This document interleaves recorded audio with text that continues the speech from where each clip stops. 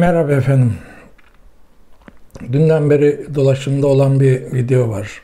Eski Milli Eğitim Bakanı Selçuk'un Kabataş Erkek Lisesi'nin 2018-2019 yılı eğitim öğretim yılı açılışında yapmış olduğu 20 yıla kadar bütün insanlığın çip takacağı ile ilgili bir video dolaşıyor. Bazılarınız görmüştür, bazılarınız da şimdi duymuş olsun. Bu e, iddialar tabii ilk defa değil ama resmi bir ağızdan o günkü Milli Eğitim Bakanı'nın ağzından bunun dillendirilmesi e, daha bir önem arz ediyor tabii ki. Tabii bu komplo teorisi olarak bazıları için çip takacaklarmış dış güçler he he he falan filan gibi geyiklere muhatap olsa bile aslında çok da yabancı olmayan Elon Musk'ın en azından şu anda bir çip çalışmaları var. Bilinen işte çalışmalar içerisinde.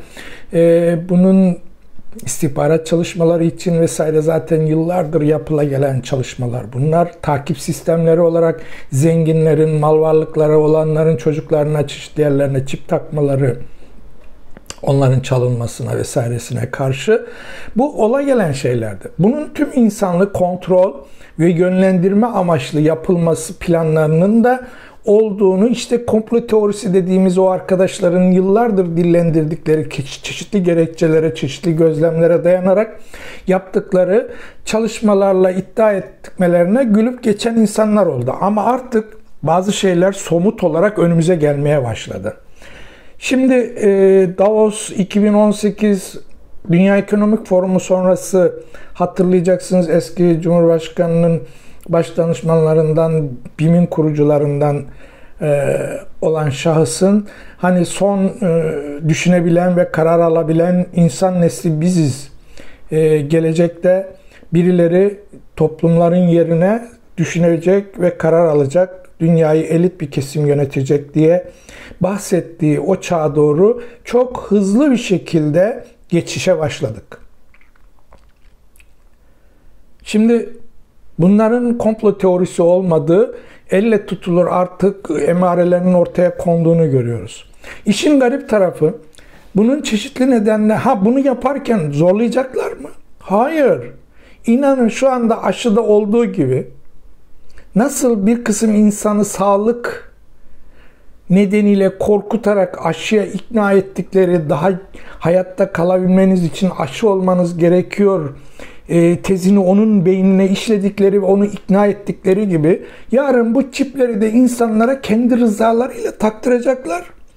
Çip takmayan, bugün benim gibi e, deneysel sıvıya karşı olan, bu sıvıya karşı kafasında istifam soru işaretleri olduğu için uzak duran benim gibi insanları o gün çipe de karşı duracağız.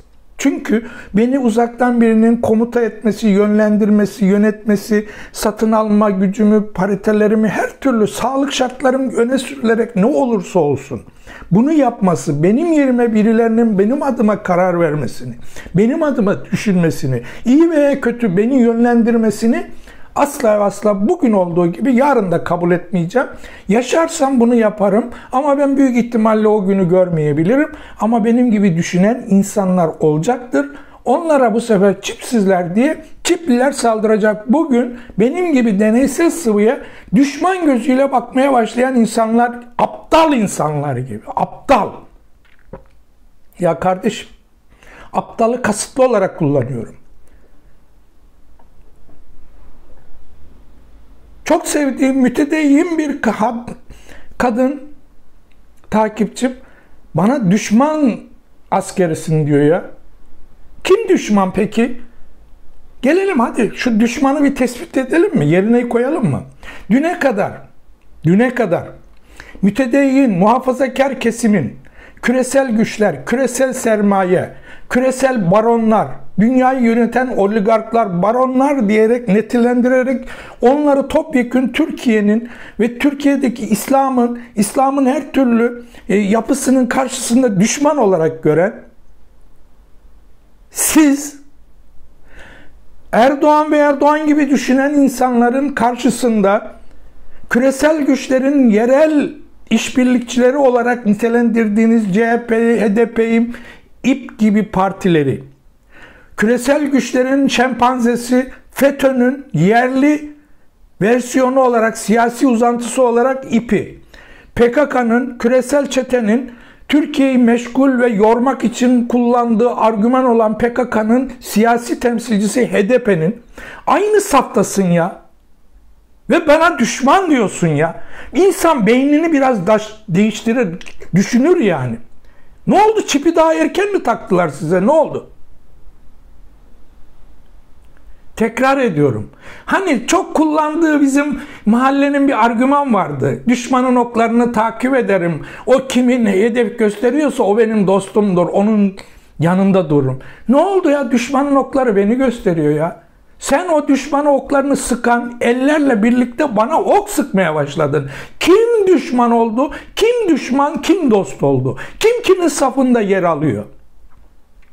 Ya biraz beyninizi kullanın ya karşınızdakini itham ederken.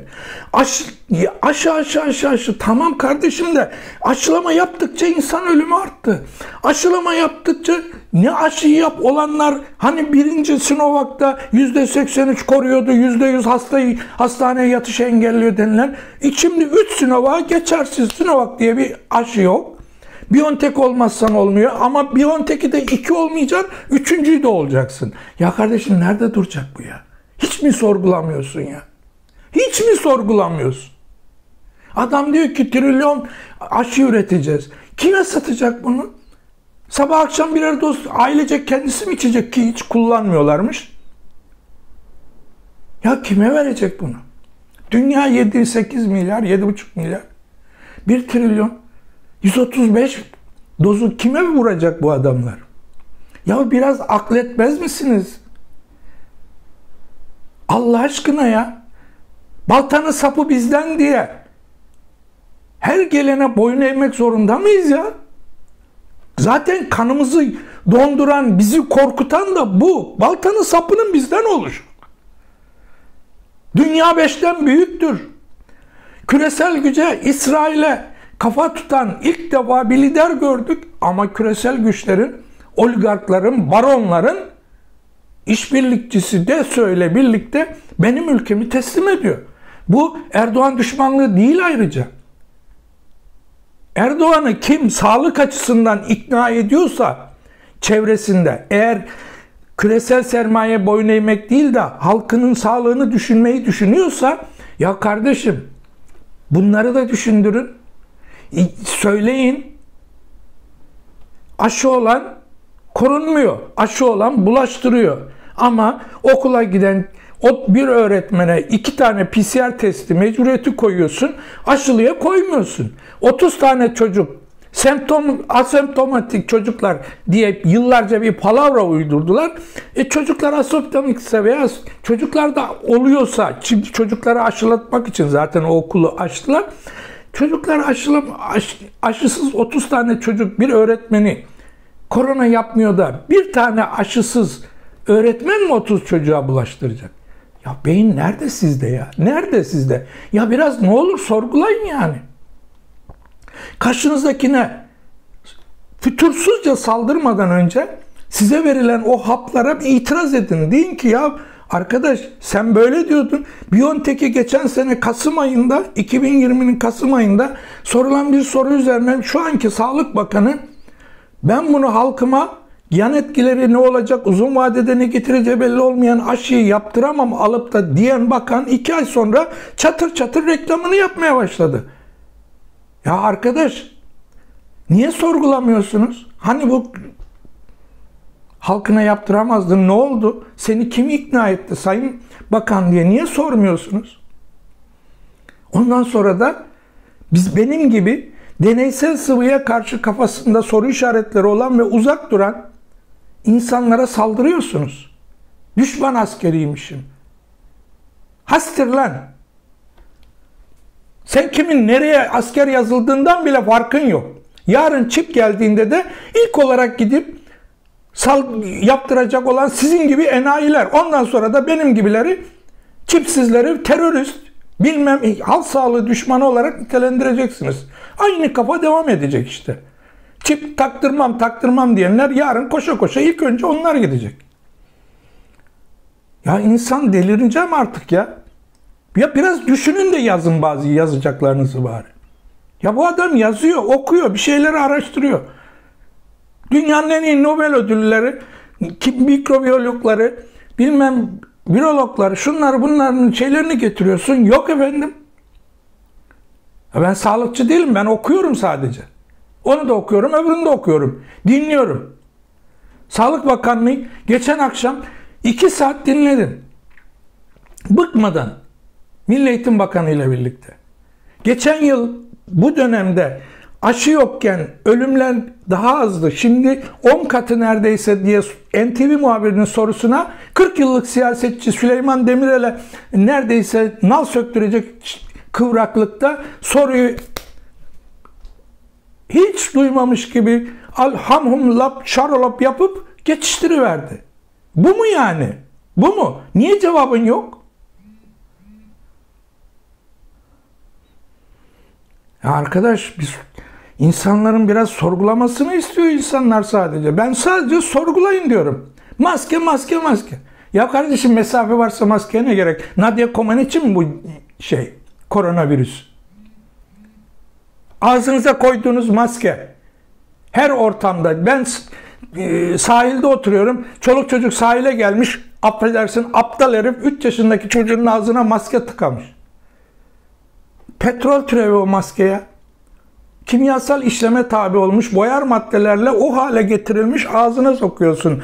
Ağzından çıkan karbondioksit zehirini tükrük ve nemle yani ağzındaki sıcaklığın nemiyle tekrar bir kısmını içeri alıyorsun zehrin. Bundan daha büyük kendine kötülük olur mu? Niye sorgulamıyorsun? Ağzına yapıştırıyorsun.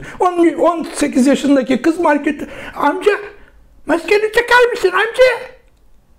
Zıkkımın kökü. Beyni şartlanmış. Kıza ne diyeyim? Kavga etsem ne olacak? Şartlı refleks. Pavlov'un bilmem nesi.